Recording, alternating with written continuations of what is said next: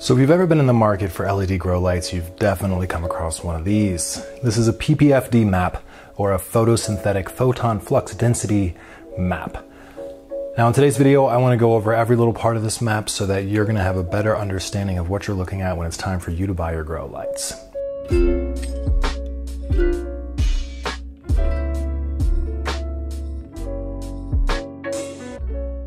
This is actually video number two in a 10 part series I'm doing called Synthesizing Sunlight. That's going to be all about growing plants with LEDs. Uh, and as usual, this is going to be coming straight from the Synthesizing Sunlight ebook, which you can get on humblegrowthhydroponics.com. I'll put a link for it in the description box. But for this video, I'm going to be using this image quite a lot. So pause your screen, take a screenshot if you'd like, and consider that a freebie. All right, let's dive in. Okay, so let's pull that picture right back up. This is a PPFD map. Rather, what you're actually looking at here is a grouping of four PPFD maps. So let's take a look at one individual PPFD map to break it down for you. So here we see 16 squares, uh, all with different numbers on them, and a gradient of light that seems to radiate from the middle out. What does all this mean? Well, this is supposed to represent square footage. Most to all PPFD maps are going to be taken at a two to three square foot area. So make sure you pay attention to that area and that the manufacturer is not trying to pull one over on you. Because like I said, generally they're only going to be about a two to three square foot area.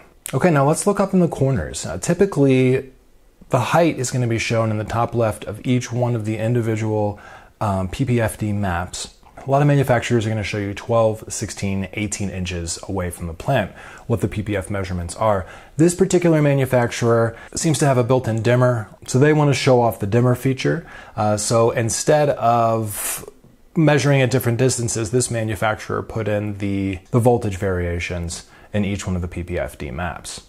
Now, typically, like I said, that wouldn't be on there, and that would actually be replaced with different height so that you can see as you move the light away from your plant how that's going to affect the rest of the PPFD map. I personally prefer to know the distances, not the dimmer because the dimmer to me is an exponential source, meaning that if you turn it up to 50%, you should be getting 50%. If you turn it up to 100%, it should double that number. So I would rather see um, the distance because that can show you how much more the light spreads out. That can show you the, the area around the hot spot and how when you move the light away, that particular grow light affects um, more of a spread. All right, so let's take a look at the numbers all over the PPFD map. What exactly do they represent? Well, obviously they're going to represent the light intensity or the photon density in one way or another, but how are they actually measured?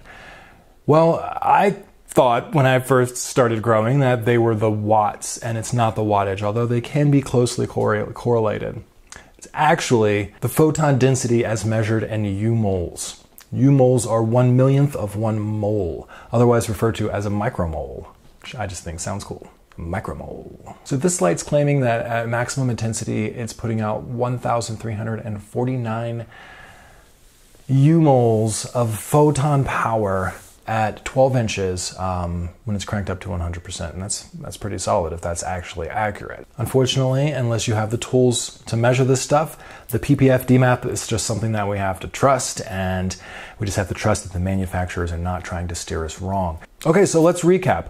A PPFD map, or photosynthetic photon flux density map, is a reading of the light's energy from the plant itself.